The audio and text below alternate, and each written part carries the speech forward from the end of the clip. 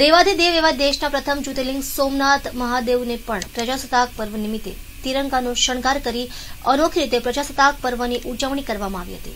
સોમનાથ મહાદેવ મંદિરે મહાદેવજીને પણ તિરંગાનો શણગાર કરવામાં આવતા ભગવાન પણ દેશભક્તિના રંગમાં રંગાયા હતા. પ્રજાસત્તાક પર્વ નિમિત્તે મહાદેવજીને અનોખી રીતે શણગાર કરવામાં આવતા હજારોની સંખ્યામાં ઉમટી પડેલા શ્રદ્ધાળુઓએ પણ મહાદેવજીને એક ઝલક જોવા માટે પડાપડી કરી હતી. છવ્વીસમી જાન્યુઆરી, એટલે કે ભારતનો સંવિધાનનો અમલવારી જે શરૂ થઈ, એટલે પ્રજાસત્તાક દિન.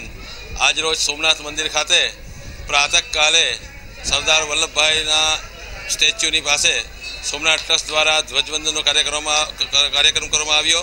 તેમાં બહોળી સંખ્યામાં યાત્રાળુઓએ તથા ટ્રસ્ટના કર્મચારીઓએ ભાગ લીધો. તથા સાંજના ભાગે શ્રી સોમનાથ મહાદેવને સફેદ કેસરી અને લીલા રંગના પુષ્પો તથા વસ્ત્રો વડે ભવ્ય શણગાર કરવામાં આવ્યો?